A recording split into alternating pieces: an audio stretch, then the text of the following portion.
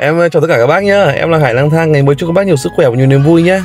Em thấy có nhiều bác thắc mắc hỏi rằng là bây giờ muốn tìm cái điều hướng của Google Maps mà trên ứng dụng của Grab thì chúng ta sẽ phải làm như thế nào? Thì bây giờ em sẽ chia sẻ các bác nhé. Vì trên ứng dụng Grab thì Grab ưu tiên ờ, dùng điều hướng chỉ dẫn đường theo ứng dụng của Grab. Còn chúng ta muốn dùng theo Google Maps cũ thì ờ, các bác làm theo em. Ok, thế các bác nhé.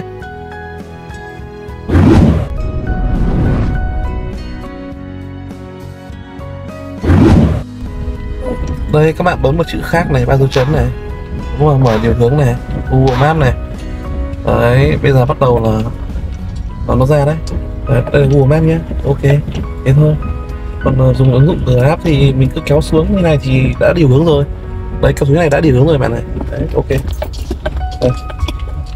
Đây. Đây, đây trên màn hình ứng dụng Grab các bạn đang nhìn thế này nhé. Nếu các bạn không muốn sử dụng à, cái màu xanh này là điều hướng của Grab này.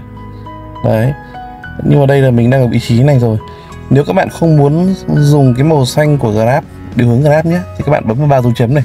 Nó có chữ khác này này. Khác. Xong là mở ứng dụng điều hướng này. Thì đây chính là điều hướng của Google Maps. Đấy. Tâm lý anh em chúng ta thì muốn sử dụng của Google Maps mình cảm giác là nó dễ hơn và thân thiện hơn đúng không các bạn?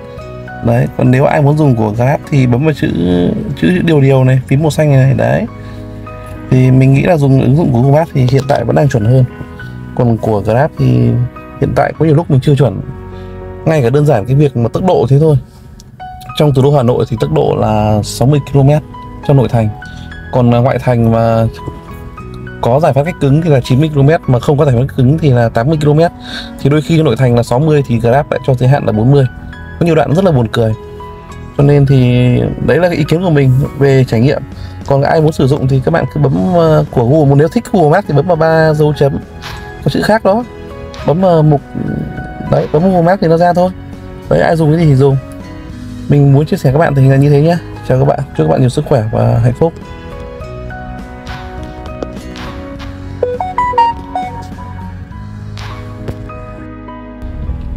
Đây các bạn bấm một chữ khác này ba dấu chấm này. Đúng không mở điều hướng này. Google map này. Đấy bây giờ bắt đầu là nó nó ra đấy, đấy đây là Google map nhé. Ok thế thôi. Còn uh, dùng ứng dụng từ app thì mình cứ kéo xuống. Như này thì đã điều hướng rồi. Đấy cái xuống này đã điều hướng rồi bạn này. Đấy ok. Đây. đây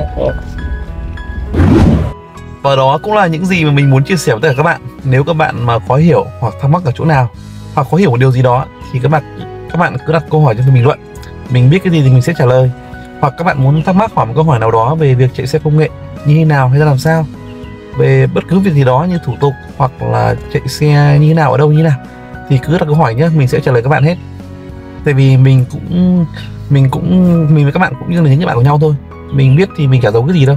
Mình sẽ chia sẻ hết với cả các bạn những gì mình biết. Vì ờ, chúng ta là bạn của nhau. Cho đi thì sẽ còn mãi mà chúc các bạn nhiều sức khỏe và nhiều hạnh phúc và nhiều niềm vui nhé. Chào tất cả các bạn.